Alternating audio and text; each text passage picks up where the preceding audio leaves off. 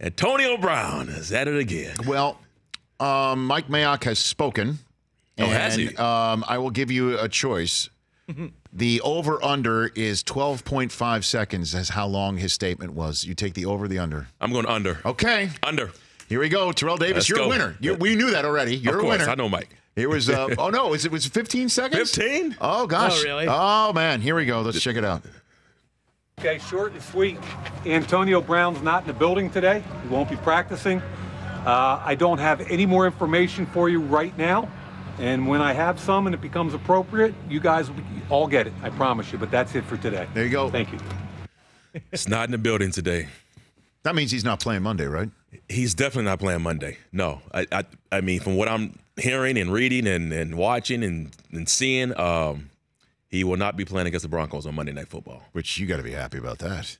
Well, I'm sure if you're a Broncos fan, absolutely. I mean, you got Right? yeah, you don't have to deal with Antonio Brown, absolutely. But I mean, here's, I mean, for but it's bigger than that to me. It's not about just Denver.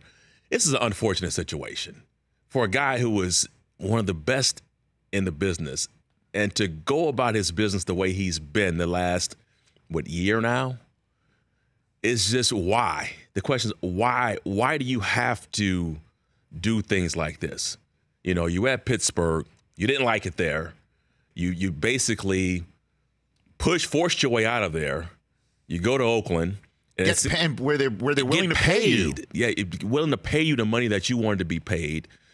You go there, and before the season even starts, you have the foot issue, which okay, I'll give you that one. You know, that's just trying to get better, trying to you know get your legs back. Frostbite happens. Frostbite. It ha- well, By the way, that's, supposed to that'd wear the be- booties, that's though, a right? new, by the way, that's a, that's a new uh, that's a new great uh, bumper sticker. Frostbite happens, but no, I yeah, understand. but that was, but that wasn't things- like a yeah that but to me that wasn't like um a decision that you refused to show up for something that's team related, Correct, right? Okay, yes. you did that. That was it was stupid, but it wasn't intentional. Maybe he did want to. Maybe maybe he did it on purpose not to go to training camp. I don't know. But then you talk about the helmet issue. That to me was was like, all right, get a helmet until you win your grievance with the helmets that you wanted what that you wanted to wear. Go to practice with your teammates. You know, you, you seemed healthy, you were out there running. Once you see that, then it's like that's a big issue. It's affecting your teammates. You can't prepare for the game. Everybody has to answer questions about you every single day. That's when the word disruptive starts to come in. That's what you don't need as a team. You know, the good teams don't have players who are just about themselves and just care about the attention they receive. So that was a problem. And then you get this thing where he gets fined, which I'm glad he got fined. That's the way it's supposed to work. It's supposed to work where a player doesn't show up, a player comes to a meeting late, you're supposed to be fined, no matter who you are, whether it's a star or, or a second year player. But why do you think he views it as an affront to him, though? I don't know. Did you ever have a player that viewed being fined as a, a personal affront? Did you ever have a teammate? No, thank God I didn't. No, I, and I played with, I played with great players, Shannon Sharpe, John Elway, Steve Atwater.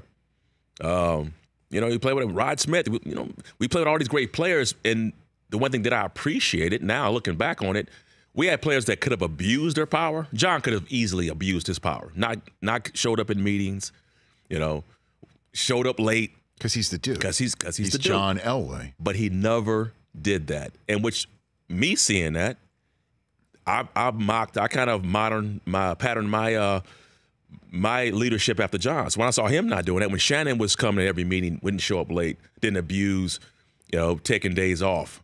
When when it's in the building and it's cultural, it's a cultural thing, it allows the young players to see that and to sort of mimic that when they when they get in that position.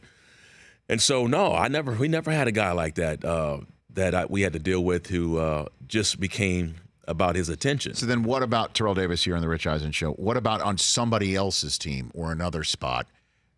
Have you ever heard of a physical altercation between player and, and management? When the when management came up to talk, or player goes up to management, that that's fine. Not physical, Okay. not physical. I've I've heard of you know shouting matches and, but that's that's but that's we're, we're in the, we're in those we're in were those in winning locker rooms. uh, well, yeah. Okay. Because again, I'm because trying that part, yeah, that that part is that part is the the human element, and that's emotions, and that's okay.